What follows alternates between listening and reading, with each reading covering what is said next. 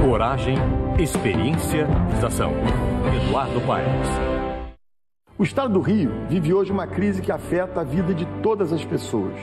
As que morrem sem a devida assistência médica ou vítimas da violência, as que enfrentam o drama do desemprego e as que falta de qualidade da educação. Mas o dia da eleição se aproxima e você vai poder decidir quem você quer que conduza o nosso Estado nos próximos quatro anos. Eu proponho a você que analise bem as opções. Veja a experiência que eu tenho e bem com o que o outro candidato já fez. Bilhete único e 140 quilômetros de BRT, deixando o transporte mais rápido e barato para todos. 20 vezes mais cobertura da saúde da família, com 115 clínicas da família. Mais de 100% dos recursos do município, beneficiando os mais pobres. Triplicou a arrecadação sem aumentar impostos. 276 novas escolas. 60 mil novas vagas em creche. Tudo isso é trabalhar por quem mais precisa. Agora vamos mostrar o que o outro candidato já fez. Comparar não custa nada. Não comparar pode custar muito. O que todo cidadão governante é que ele trabalhe para levar mais saúde, segurança, educação e dignidade. Foi isso que eu entreguei à população da capital quando eu fui prefeito. E é isso que eu vou fazer como governador. Eduardo Paes, governador. Quem mora na capital sabe o que aconteceu com a cidade do Rio ao eleger um candidato sem muita experiência como gestor. Agora imagine o que pode acontecer com todo o Estado, com alguém sem nenhuma experiência com. Crivella e Witzel, qualquer semelhança não é mera coincidência. E agora Crivella decide apoiar Witzel. Cuidado! O candidato Witzel trabalha para o pastor Everaldo, de quem recebe salário de 21 mil reais. Agora veja o que o Bolsonaro pensa do patrão do Witzel. Pastor Everaldo, que vergonha, pastor Everaldo, que vexame! Tu tá agora citado, citado na Lava Jato, 6 milhões de reais. Não vou entrar em detalhes. Mas que vergonha que essa política brasileira, meu Deus do céu. Que vergonha, que vexame.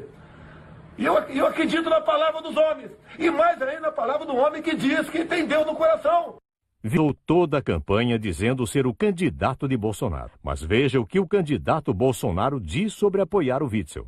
E aqui no Rio, quanto ao Witzel? Não, aqui eu tô neutro ali.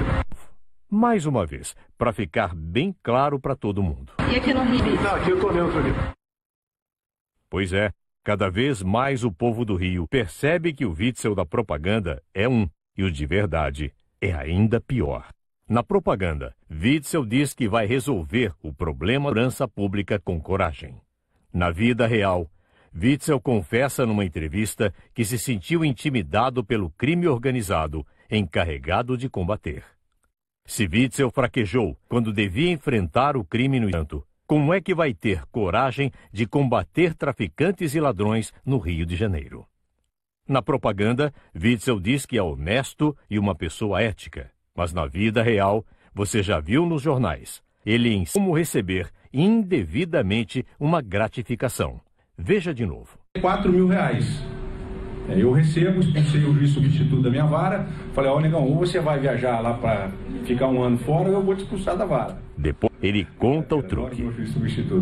Mas se ele ficar, eu não recebo. E aí a gente fez uma engenharia. Todo mês, 15 dias do mês, o juiz da substituto sai da vara. Isso que é novo? É ensinar a pessoa a ganhar dinheiro de uma forma errada. Ser governador assim? Witzel também anda em companhia de um advogado que foi condenado por tentativa de suborno ao ser descoberto escondendo na mala do carro um dos maiores traficantes da história, o Nem da Rocinha. Na propaganda, o Witzel posa de humilde, mas na vida real, confessa que é dono de empresas, que ele omitiu na declaração de bens entregues à Justiça Eleitoral. Eu sou empresário, tenho faculdade, tenho curso. É. Então cabe um direito de pergunta. Witzel, se você é empresário de muitos negócios, por que teve que ser processado para pagar o IPTU? Por que teve que ser processado para pagar a dívida que tem com. Responda, candidato Witzel. Responda se for capaz.